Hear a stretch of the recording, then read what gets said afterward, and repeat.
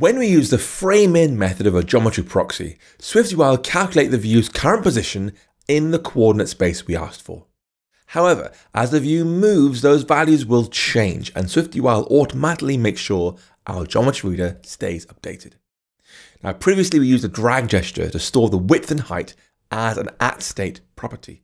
It allows us to adjust other properties based on the drag amount to create neat effects. However, with Geometry Reader, we can grab values from a view's environment dynamically, feeding into absolute or relative position into various modifiers. Even better, you can nest geometry readers if needed. So one can read the geometry for a higher up view, and another one can read the one for something further down the tree.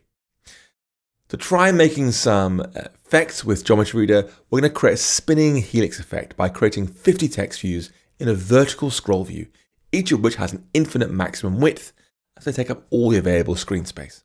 Then apply a 3D rotation based on their position on the screen. So we'll start out making an array of colors in our content view. We'll say our colors is an array of color equal to, let's do dot red, dot green, dot blue, dot orange, dot pink, uh, dot purple, and then dot yellow. And then in our view body down here, I'm going to say we have a scroll view. And this thing's going to count from zero up to 50 with some index coming in. Inside there is our geometry reader with a proxy coming in. And now is our text. We'll do row number, our index. I'll give this thing a font of title, a frame with a max width of dot infinity, and then a background color using one of the colors from our array. So we'll say colors index percent seven. Yes, thanks for that Xcode. Index percent seven. So it cycles through it again, again, again. Red, green, blue, orange, pink, purple, yellow. Red, green, blue, orange, pink, purple, yellow. Again, again, again. I'll then give this whole reader a fixed frame height of 40, like that. And now we want to apply to this some kind of, oops, dot frame, some kind of spinning helix effect, which means adding a rotation 3D effect directly below this background modifier here. We're going to say there's a rotation 3D effect.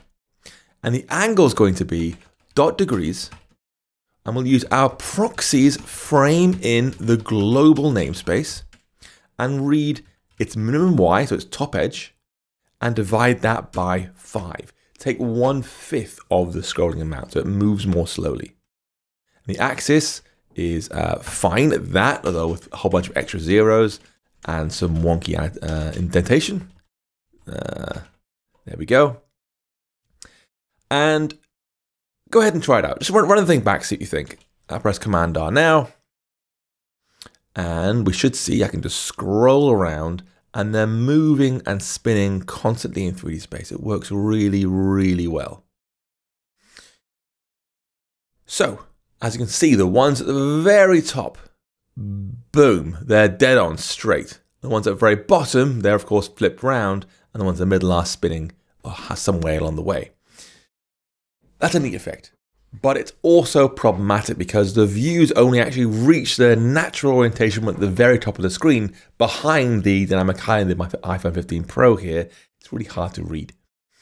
To fix this, we can apply a more complicated rotation 3D effect. That's going to subtract half the height of the main view. That means using a second geometry reader to get the size of the main view. So, we're going to wrap our scroll view in a second geometry reader. This time I'll call its proxy full view, so we can distinguish the two very nicely, like that. Full view in. Then the rest of the code is the same apart from this rotation 3D effect. This thing needs to subtract half the height of the available space. So we're still going to say use a proxy frame in global min y, it's fine. But we're going to make this slightly more complicated. Again, subtracting half that height to work with here. So we'll say our min y minus our full view dot size dot height divided by 2 and then divide the result of that by 5, like so. And so we're just moving things around a little bit. With that in place, all being well, the views should reach their natural orientation near the center of the screen, as you can see. So as they're scrolling, boom, they're in the center, they align neatly. It's much more natural for human reading purposes, I think. You can see how lovely and fast it is. That's Geometry Reader doing a great job. We can use a similar effect to create a cover flow style scrolling rectangle, which was all the rage in Apple land in the earlier days of iPhone and Mac OS. So we could say, for example, let's delete all this code. Here we could say we have a uh, scroll view going horizontal with shows indicators of false. Inside there, I'll make a H stack with spacing of zero, and then count from for each Let's do 1 to 20 with a number coming in. Inside here, this is where our geometry reader is, with a proxy coming in. And I'll say our text is number, number, like that. I'll add to this a font of large title so it's nice and clear. Do a little bit of padding. Let's add a background of uh, fixed red is fine. And now we'll do another rotation 3D effect. Now, this time, again with a wonky indents, thanks Xcode, um, this time I'm going to say our, our angle is going to be degrees of minus proxy.framein.global.min x, so our left edge. But I want one eighth of that, a very gentle rotation. The axis, firstly fix the indentation like that, and then delete the zeros. Otherwise, all good. Rotate around the y-axis. I'll then say each of our number areas has a fixed frame. We'll do width 200, height 200.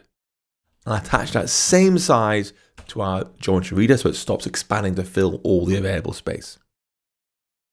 Let's give that a try. Let's press Command R. Hopefully we'll get, there we go. Like as I'm moving around now, I can flip between views and they spin around beautifully. So that works nicely.